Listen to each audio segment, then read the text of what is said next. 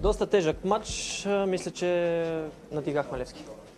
Какво не ви достигна обаче да победите Левски? Единствено гол. Значи създавахме доста положения, не успяхме да реализираме. Да, може би нямахме чак толкова чисти положения, но имахме и удари, и доста ситуации, които просто прегоряхме в дадени моменти.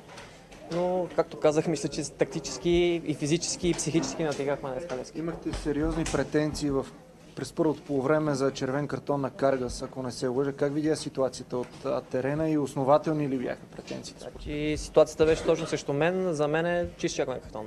Дадената ситуация. Аз първи стигам до топката, той въхлетява нали, върху мене. Може би този червен картон те ще да, да стъпи с Левски с човек повече. Съм убеден, че щяхме да победим. Очакваше ли Ботевраца да стои толкова добре срещу Левски, с оглед на това, че играете и от матч на матч по-добре? Явно продължавате с добрите игри. Да, ние сме в възходяща линия. Мисля, че можехме да играем още по-добре. И треньора, значи, това го сподели сега след края на матча. Почнахме перфектно матча, трябваше да задържим нивото, но се надявам от матч на матч да продължаваме да играме по този начин.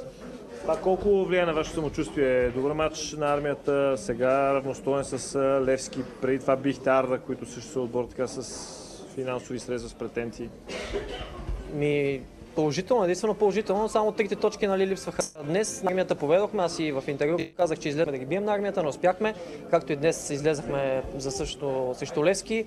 Надявам се нивото да ни се подобрява и каквато е нашата задача да се спасим. Единственото, това са нашите цели края на първенството.